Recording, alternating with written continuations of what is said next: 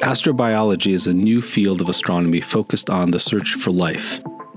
We are not the first generation to wonder whether we are alone in the universe, but we are the first generation that can meaningfully answer that question because of technological advancements like the James Webb Space Telescope, which is designed to ascertain if an extrasolar planet is an Earth analog.